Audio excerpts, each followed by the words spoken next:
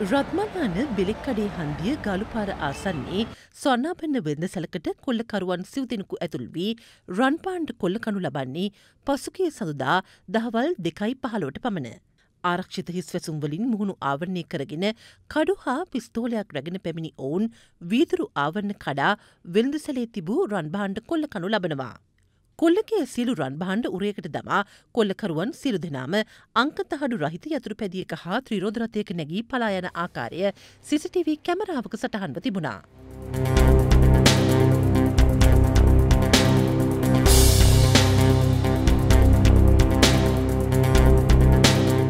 මේ සම්බන්ධයෙන් ලැබුණු පැමිණිලි මත ගල්කිස්ස පොලිසිය පුළල් විමර්ශනයක් ආරම්භ කලා.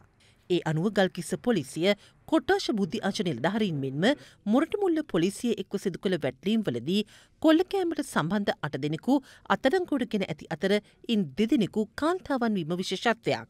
සැකකරුවන් වයස අවුරුදු දහ අටත් විසි හතත් යන වයස්වල පසුවන රත්මලාන අම්බලංගොඩ හා ගල්කිස් යන ප්‍රදේශවල පදිංචිකරුවන්.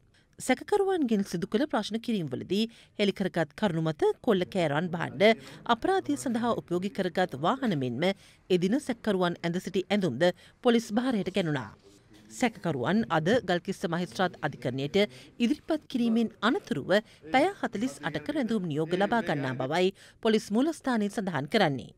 ගල්කිස්ස පොලිසිය මි සම්බන්ධයෙන් වැඩිදුර විමර්ශන සිදු කරනවා.